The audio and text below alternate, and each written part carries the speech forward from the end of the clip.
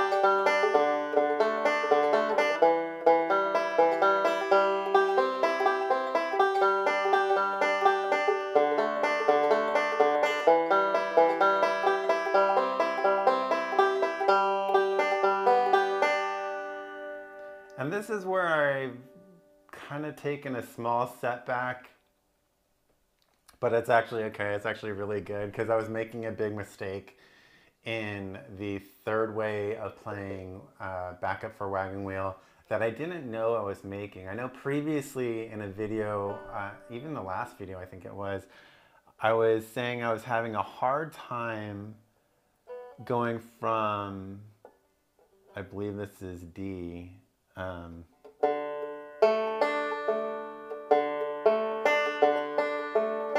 to E minor. And um, for somehow it, it, it escapes me, but I was doing that wrong. I was, I was, I was using these two fingers instead of these two fingers. So these are the fingers I should be playing the D chord because this is the rest of of that D chord. So I don't know why or how I got onto these two fingers. I did check the tab and the correct way is with these. So I, I don't know, I just misread the tablature and started using these fingers. So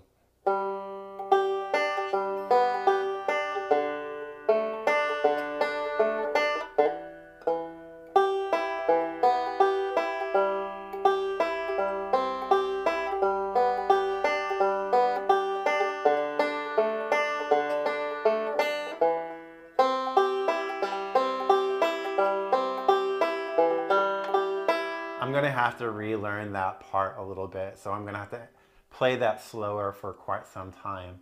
The other part of, um, this is gonna be now the fourth way of playing backup on that Mike Hedding uh, material.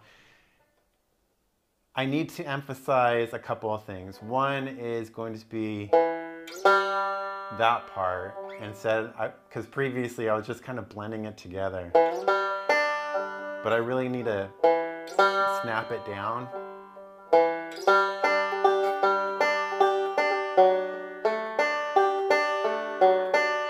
And then here, I need to be careful. This is a this is a um, quarter note. I'm sorry, an eighth note that I need to be careful not to make a 16th note. So it is a pluck of the fourth string and then you hammer down on the fourth string while plucking the third string simultaneous. And I think I've been splitting that into a 16th note like that. And I don't want to be doing that. I want to be simultaneous. Keep that keep that eighth note um, and not split it into into a 16th note.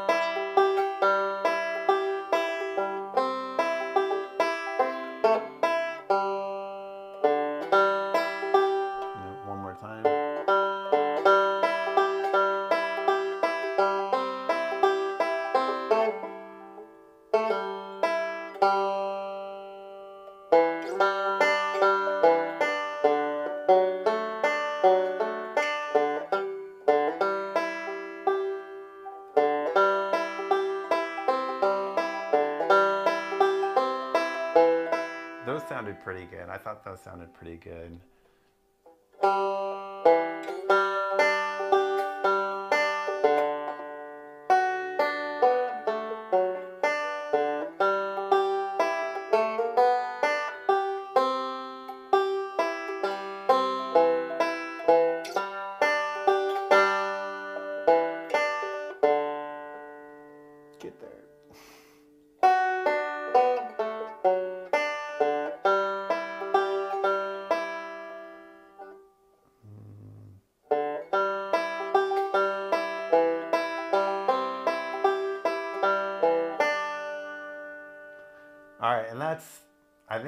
Everything. Of course, there's also the vamping, uh, which I'm super terrible at.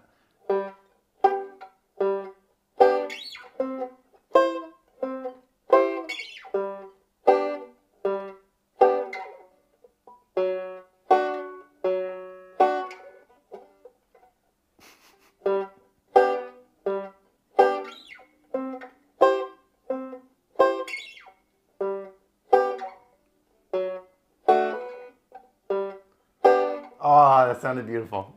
And then, of course, I started with uh, Man of Constant Sorrow, which I think is coming along pretty good. I was pretty happy with the rendition I did at the beginning of this. So um, I am still pulling it apart and working measure by measure and repeating those to try to get those down because quite a few of them are very tricky, particularly the. Um,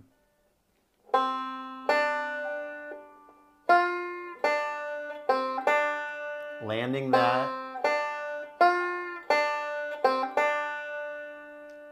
is is taking a lot of repetitions to be able to do that. Anyway, thanks for tuning in this this week. Uh, again, congratulations to all of us. We made past 365 hours.